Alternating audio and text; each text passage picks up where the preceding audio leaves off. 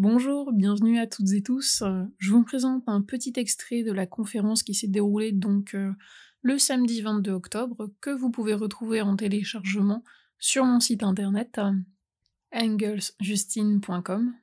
Dans cette conférence, vous allez retrouver les enjeux de l'inconscient, une présentation de Carl Gustav Jung, ensuite on aborde les grands concepts et le processus donc de la psychanalyse jungienne. Ensuite, nous allons voir la force des archétypes, quelques exemples de symboles à la fois uniques et qu'on retrouve dans nos rêves. Puis l'explication de la fonction transcendante. Ensuite, qu'est-ce que représente finalement le rêve? Et quel est l'intérêt de la thérapie jungienne? Si vous souhaitez assister au prochain atelier conférence qui sera en ligne, c'est le 12 novembre, autour de l'interprétation des contes de fées avec Marie-Louise von France, et ensuite votre prochain rendez-vous le 10 décembre, donc toujours en live, l'interprétation du mythe d'Orphée. Je vous laisse maintenant découvrir l'extrait de cette conférence Les grands concepts de la psychanalyse jungienne, et vous pouvez retrouver donc euh, toutes les informations nécessaires sur mon site internet engelsjustine.com en vous souhaitant une très bonne écoute. À très bientôt. Avant d'aller plus loin, n'oublions pas de présenter Carl Gustav Jung. Carl Gustav Jung est avant tout un médecin psychiatre. Il est né en Suisse le 26 juillet 1875. Il décédera le 6 juin 1961, à l'âge de 85 ans. Il est le fondateur de la psychologie analytique et auteur de nombreux ouvrages. Jung a consacré sa vie à la pratique clinique et à l'élaboration de théories psychologiques. Nous allons regarder ensemble l'une des caractéristiques de son approche dans le courant psychanalytique. La psychologie analytique donc de Jung ne reconnaît pas les postulats fondamentaux de la psychanalyse et propose deux ruptures majeures vis-à-vis -vis de la théorie freudienne.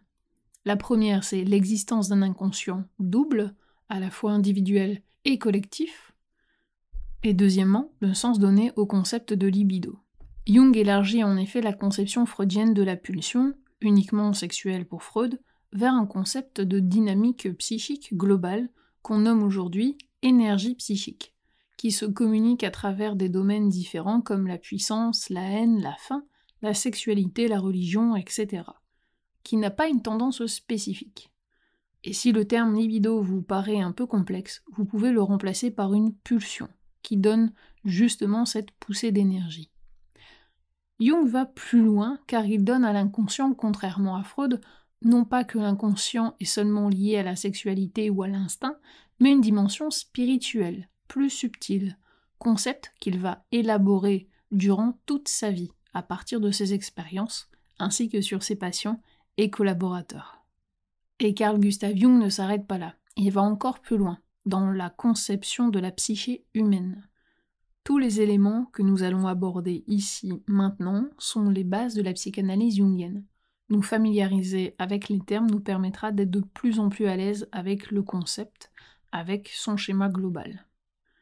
La définition de la psyché, qu'on peut traduire par l'esprit humain, Jung dit On ne peut s'approprier un objet abstrait qui serait la psyché. La connaissance de la psyché est une expérience, elle ne procède pas d'un savoir que l'on construit. Mais on peut essayer de définir la psyché par l'ensemble de l'esprit humain. Gardez en tête que la psyché est plus que la conscience.